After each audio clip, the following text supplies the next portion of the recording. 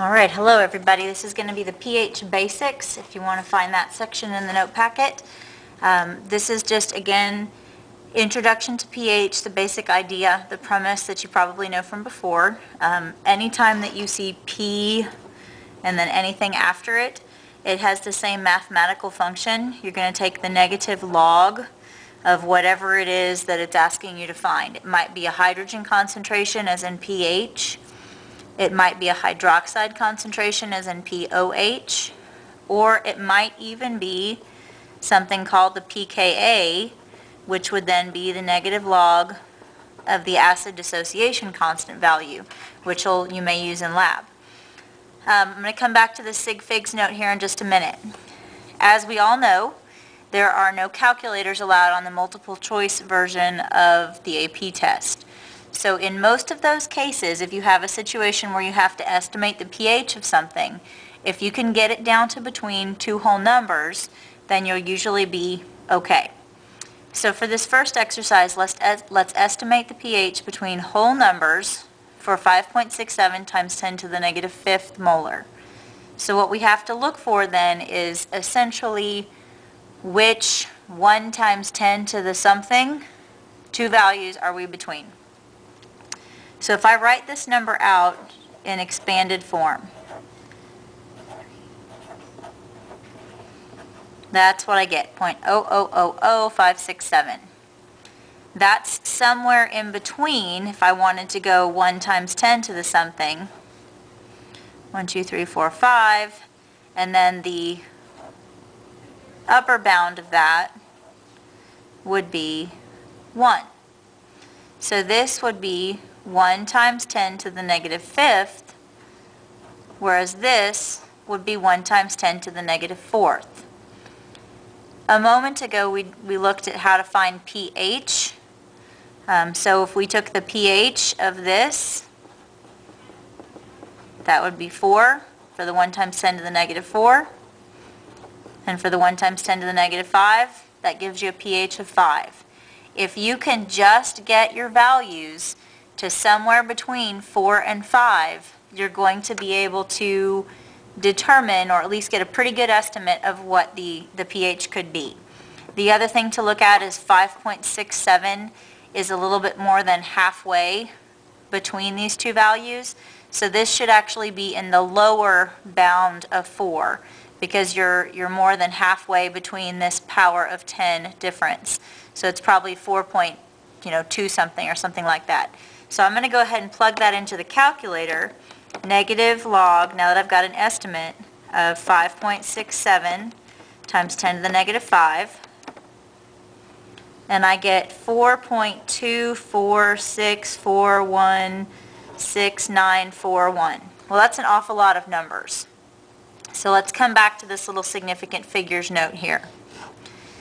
Use as many decimal places are there sig figs in the problem the negative base 10 logarithm. So that basically is talking about the power. Becomes the whole number, therefore only the decimals to the right are significant. In other words, the power does not count as a significant digit. Everything past the decimal point does. So in this case, this 4 represents the power. The rest of these would represent precision. So in this particular case, we have three significant um, figures as the coefficient before the times 10 to the something. My answer should have three digits after the decimal place. So it should be 4.246 would be the pH that I would calculate. Okay, so I can estimate it to between 4 and 5.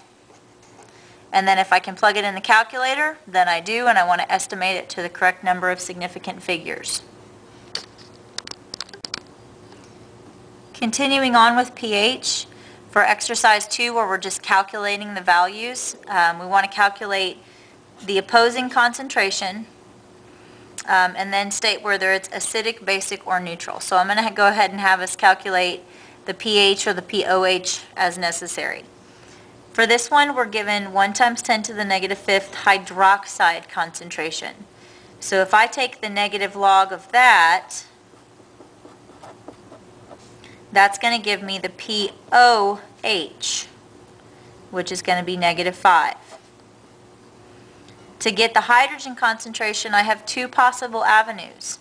I can either use KW, which is the hydrogen concentration times the hydroxide concentration, and solve for the missing one. So I'm going to go ahead and do that for this one. So KW is 1 times 10 to the negative 14 equals the hydrogen concentration times 1 times 10 to the negative 5, which would give me 1 times 10 to the negative 9 equals the hydrogen concentration, molar. That would then give me the pH equals 9, and therefore that is a basic solution. The other thing that I could have done with that is I could have just used the idea of pH plus POH equals 14. In that case, then you would have pH equals 14 minus 5. Oops, that's not negative side, sorry, 5, sorry.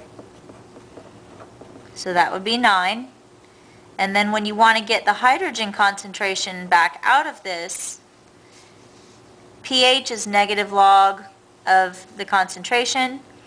Then the concentration equals 10 to the negative pH. So in this case, that's 1 times 10 to the negative 9. So that's just two ways to do the same problem both give you the same pH, both give you the same hydrogen concentration, both tell you that it's basic. Okay, for B, I'm just going to uh, give you the answer here.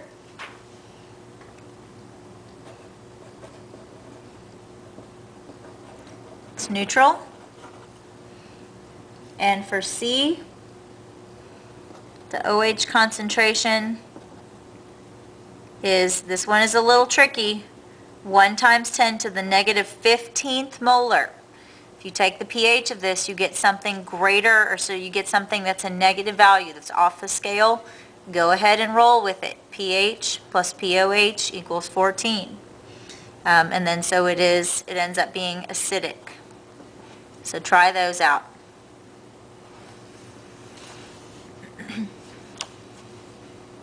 Exercise 3 is very, very similar. Don't need a calculator probably for this one. You have 1 times 10 to the negative 3 molar OH minus, which would be a POH of 3. And then would be a PO, uh, pH of 11, because 3 plus 11 gives you your 14.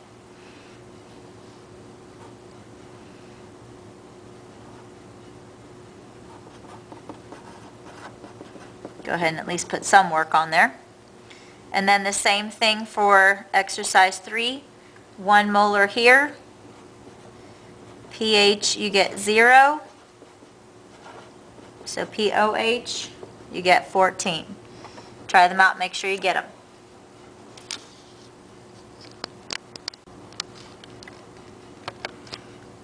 Okay, on to exercise number 4. The answer for this one has three parts. The POH is 6.59. The hydrogen is 3.9 times 10 to the negative eighth. And the hydroxide is 2.6 times 10 to the negative 7. Try it on your own. If you don't figure it out, come back and watch. All right, so if pH of the sample of human blood, 7.41. To get POH, I'm just going to subtract from 14. 14 minus 7.41 gives me 6.59. Then to get my concentrations, it's going to be 10 to the negative 7.41 which gives me the value, if I put it in the calculator, 3.9 times 10 to the negative eighth molar. And then my hydroxide concentration 10 to the negative 6.59, which gives me the value from my calculator, 2.6 times 10 to the negative seventh molar. It is not appropriate to leave powers in this decimal format. You have to get them to a, a whole number power with a, you know, the coefficient or the number in front of the x. Okay, last topic for this session for pH is looking at strong acids and strong bases, which dissociate completely. So whenever we do these, we're talking about a single arrow totally to the product side. We can assume that the concentration that we started with here entirely becomes the concentration of our products. So for instance, if we have nitric acid, that becomes the hydrogen ion and the nitrate ion.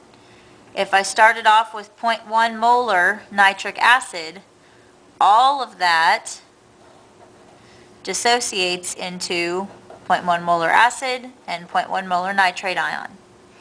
To figure out the pH, I just use my acid concentration, negative log of 0.1 gives me pH, oops, I need to put that over here, pH equals this, pH equals 1. Strong bases will be awfully similar, except instead of forming an acid now, when it dissociates, this forms a base, forms hydroxide.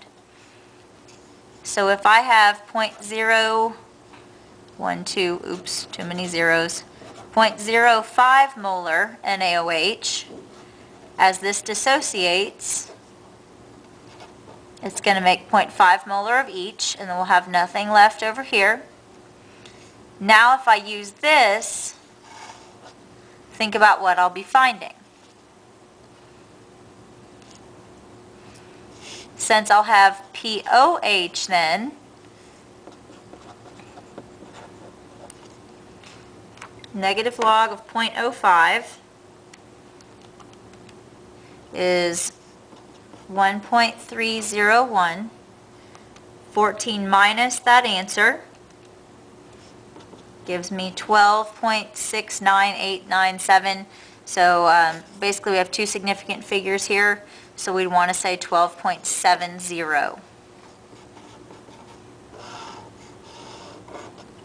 And I suppose technically if we went back to the strong acid, since we have two significant figures in my concentration, I would want to say 1.00. And that concludes our pH.